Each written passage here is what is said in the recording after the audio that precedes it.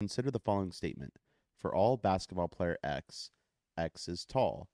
Which of the following are equivalent ways of expressing the statement? So I think understanding this question requires you to see the answer first, and that way you can know how to structure your English phrases. So this is all just semantics and not really a math question. Let's start with part A. Every basketball player is tall. That is exactly what this says. For all basketball players X, meaning for every single basketball player, that basketball player X is tall. So, yes, part A is an equivalent way of expressing this statement.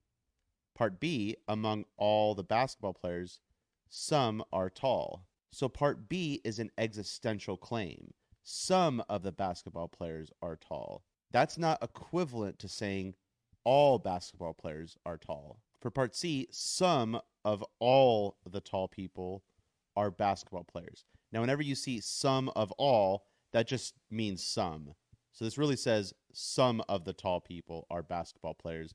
And for the same reason why B was not equivalent, C is also not equivalent to this statement. Part D, anyone who is tall is a basketball player. This is not equivalent to the original statement because the quantification of the original statement is on the basketball players, not people who are tall. So the original statement makes a claim about basketball players, not a claim about tall people, whereas part D makes a claim about tall people rather than making claims about basketball players. So the quantification is backwards on part D. For part E, all people who are basketball players are tall. That's the same thing as part A, and it's the same thing as the original statement. So yeah, that's equivalent to expressing the statement. For part F, anyone who is a basketball player is a tall person. That is also equivalent to the original statement.